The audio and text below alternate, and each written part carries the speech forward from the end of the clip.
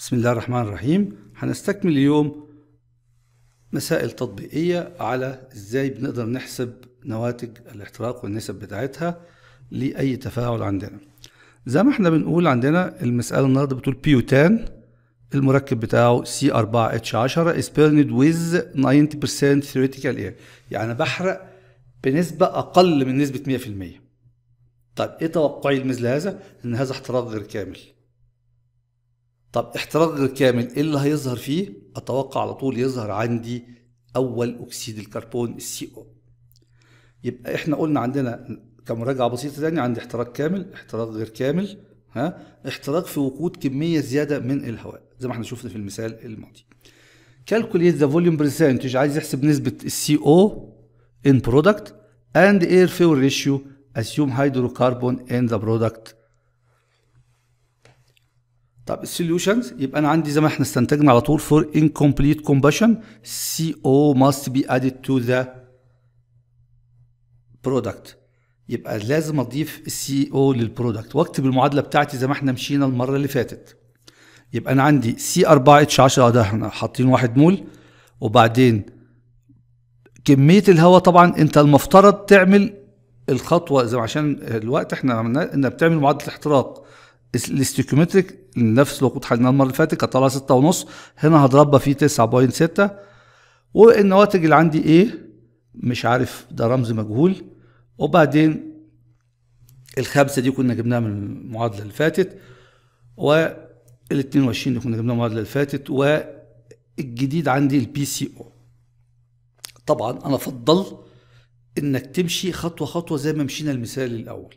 يعني الأول هتكتب ال theoretical equation وبعدين تضرب القيم دي فيها.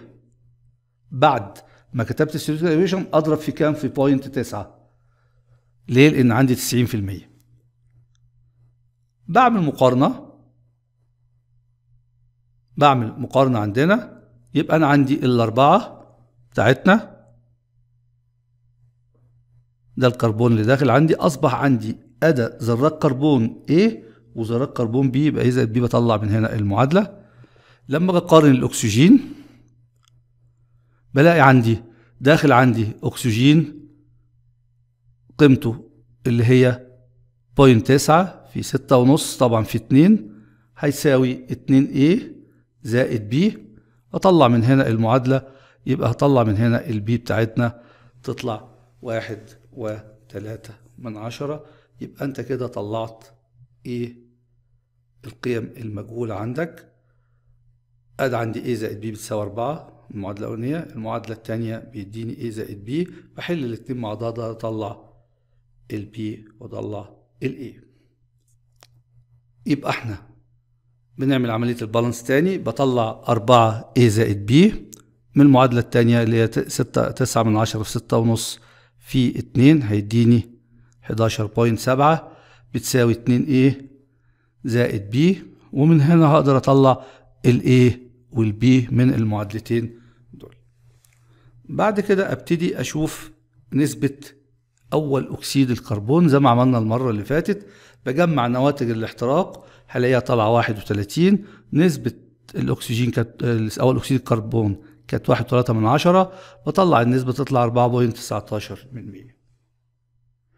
طب ال air fuel ratio زي ما عملنا في المسألة الماضية ال air fuel ratio عبارة عن ال m dot ال m air على ال m fuel يبقى ده تسعة من عشرة في ستة ونص في أربعة point ستة في الوزن الجزيئي اللي هو تسعة وعشرين على الوقود واحد في تمانية وخمسين تطلع تلاتاشر point تسعة اتنين kilogram of air على kilogram of fuel يبقى انت كده جبت المطلوب. ونبتدي نشوف مثال تاني برضو يوضح لي فكرة أكتر اللي هو مثال رقم ثلاثة وده بنقول الفكرة هنا بتختلف لأن من مثال butane C 4 H 10 is burned with dry air and volumetric analysis. هنا أعطاني ال volumetric analysis للنواتج. أنا كنت هناك بستنتج ال volumetric analysis في المسألتين اللي حلناهم قبل كده. إحنا النهارده ب معطى جديد اللي هو ال volumetric analysis لل عملية الاحتراق عندنا. برضو عندنا بنفترض وجود عندي 100 مول وهنا dry. يبقى هنا في المسألة هنا في المسألة ما ادانيش نسبة المية ولذلك أنا أضيفها للمعادلة هنا كمجهول. يبقى أنا عندي لو افترضت عندي أحرق كام وقود A C 4 H 10 باستخدام كمية من الهواء مش معروفة عندي B هيطلع لي 11 مول من ثاني أكسيد الكربون واحد مول من أول أكسيد الكربون تلاتة ونص مول من ال O 2 84.5 N 2 والجزء المتبقي مية أنا مش عارفه. هي دي المعطيات بتاعت المسألة. برضو أنا أفضل تكتب المعادلة ال stoichiometric اولا وتكتب المعادلة بتاعت الاحتراق الحقيقي دي ثانيا. يعني إحنا هنا كتبنا لك معادلة الاحتراق الحقيقي على طول. برضو بعمل comparisons بين ذرات الكربون اللي داخلة ذرات الهيدروجين ذرات الأكسجين. طيب أنا لو جيت بصيت لي أربعة يبقى أنا عندي أربعة A وبعدين خارج عندي بالنسبة للكربون 11 زائد واحد. 11 زائد واحد. واحد C يديني يبقى ال A تطلع بتلاتة. طلعت قيمة ال A برضو هقارن الهيدروجين هطلع قيمة ال C واتنين B من معادلة مقارنة الأكسجين هطلع قيمة ال B يبقى أنا طلعت قيمة ال A وال B وال C أعمل مقارنة للنيتروجين أطلع قيمة ال B عندنا. طيب تعال نبص كده. لو إحنا أنا كانت عندي الايه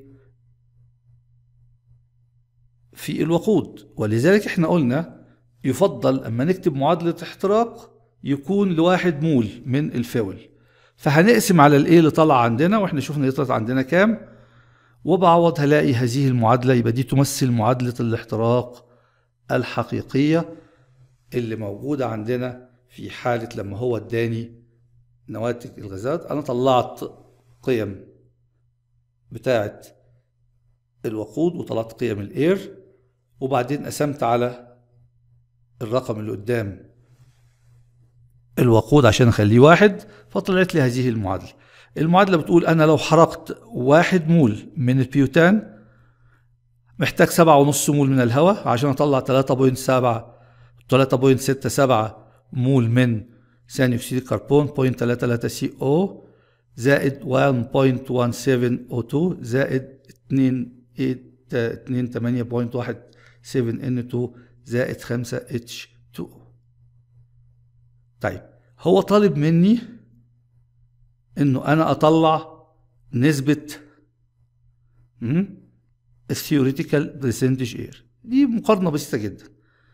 إحنا لو رجعنا للمحاضرة اللي حليناها لنفس الوقود في المثال الأولاني المعادلة النظرية كان عندي مستخدم ستة ونص ولذلك أنا قلت دايما في كل مسألة يفضل وأنت بتحل بنفسك تكتب المعادلة النظرية في الأول. ففي المعادلة النظرية للبيوتان لما احترق كانت نسبة الهواء المطلوبة ستة ونص. طب أنا استخدمت هنا كام؟ سبعة ونص. يبقى نسبة الهواء الزيادة هتبقى سبعة ونص على ستة ونص في مية يديني مية وسبعة. يديني مية وسبعة. يبقى إذا أنا هنا حسبت الثيوريتيكال اير والنصيحة اللي بنصحها دايما ليكم إنك في أي معادلة احتراق اكتب المعادلة النظرية الأول وبعدين اكتب المعادلة الحقيقية ايا كان معطى بالنسبة لك عشان يبقى سهل المقارنة. وشكرا ونشوفكم المرة القادمة في تطبيقات أكتر.